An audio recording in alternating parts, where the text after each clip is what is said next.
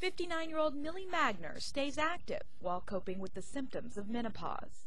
I was having both mood swings and hot flashes. Millie is one of 351 women who participated in a study to find out if herbal remedies with black cohosh are effective in the treatment of symptoms of menopause.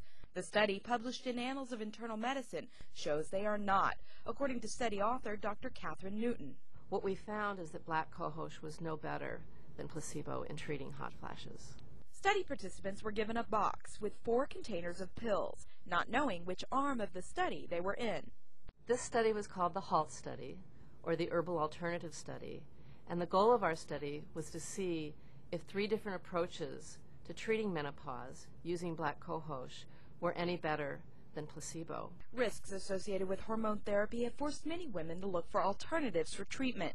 Dr. Susan Reed co-authored the Annals of Internal Medicine study to see if these black cohosh herbal alternatives would work.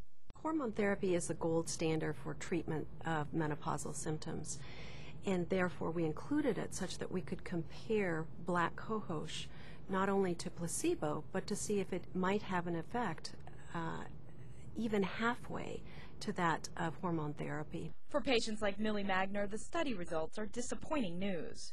It is disappointing to find out that there aren't, at this time, alternatives for women. On behalf of the American College of Physicians, I'm Sonia Martin.